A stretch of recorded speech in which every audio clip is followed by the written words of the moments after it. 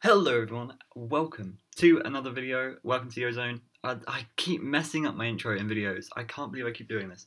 So, I just did a live stream on my channel. Um, it was a very, very, very successful live stream. Um, loads of you joined, loads of you watched, and it was essentially me playing the new FNAF VR uh, mobile port. And in that in that game, in that port, there is a new minigame. Who knew? Uh, called Princess Quest. Qu- uh, Quest? Quest. There's Pr- Princess Quest. And it's essentially like a little, um, kind of like a, a little bit like an RPG. No, not really. It's, it's a bit like a Legend of Zelda kind of style. But um, it's very difficult. And um, there's a secret door at the beginning. Uh, we still don't really know how to open, and I'm hoping to do that in a live stream in the future. Anyway, um, in today's video, I'm going to quickly um, go through how you beat this game um, for yourself. Um, it doesn't really unlock anything, but it, it's it's pretty cool to beat. You, you can boast to all your friends. uh, also, it unlocks every single game uh, in the FNAF VR game. Uh, so, we're going to go in. This is us loading into the FNAF VR game. And here's how you get it. So you see on the little monitor in the bottom right, that is how you access the game. But, okay, now it's just not here. there we go. But it's not always going to be there uh, at the beginning. And so what you do is you go to Prize Corner, um, and here's how you unlock it. You essentially go into Prize Corner and you... Uh, there'll be these glitches and you'll see it in a second. Basically, when the glitch comes, you just have to tap repeatedly as fast as possible. Uh, hopefully, it'll come soon. Eventually, come on. There we go. You just keep tapping. You keep tapping, and it will take a long time. You just have to keep doing that, and it doesn't matter what you tap. These pizzas um, that you'll see there, they light up as well. You just keep tapping them. There'll be a chica here that you that you can also tap. There's something up there. What is that? What is what is that up there? That's like a tea bag.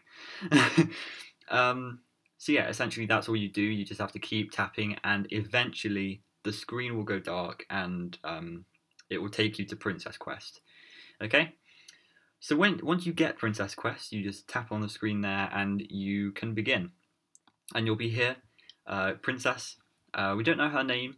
People have called her Princess Illumina. Um, that's a cool name. Uh, and essentially, you just move around. You just kind of um, use your finger to move around. The controls I found were really difficult at the beginning, um, but it will get easier the more you play. Um, I have been playing for about two hours straight, so um, just been trying to open this door because this door doesn't open by any means. Um, just don't know how you open it. So the first thing you want to do, of course, is get this this chest. You get a heart, and then you go into this this door uh, and then all you want to do is light up these two, and then this door will open. Uh, this is going to be a very in-depth tutorial, um, basically a speedrunning tutorial, because I can basically speedrun at this point.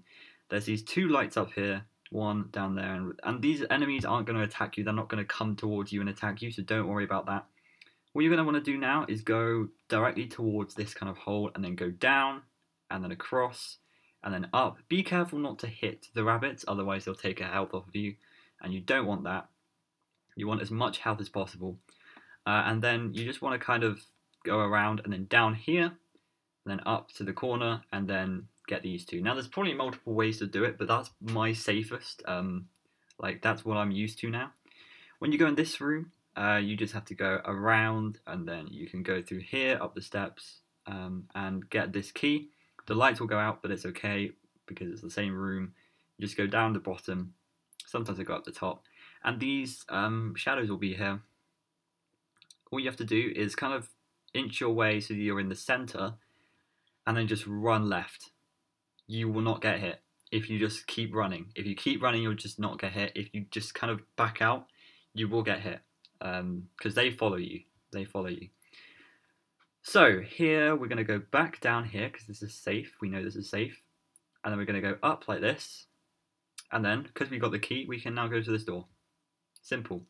Now, as soon as you go into here, you want to go straight up, get this one, keep going up, and this is the door we need to go to. So you're going to go right, get this one, down, get this one, and then go back the way you came. It's important you go back the way you came.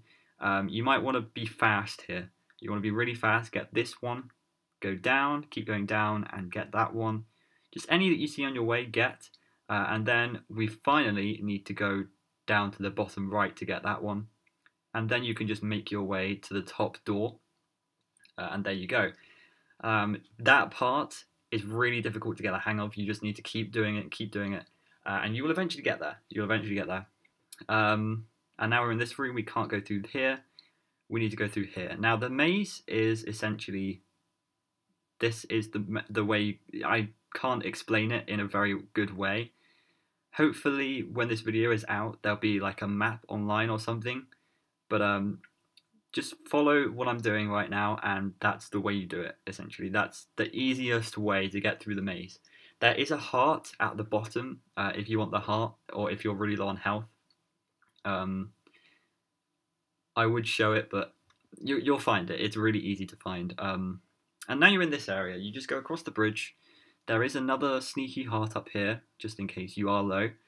Um, I don't know why that's there because there's no more enemies. Like literally, you are safe. You have completed the game. Um, to do this, um, essentially the explanation here is uh, these gravestones range from one to six, or one to five, or zero to five. Sorry, zero to five.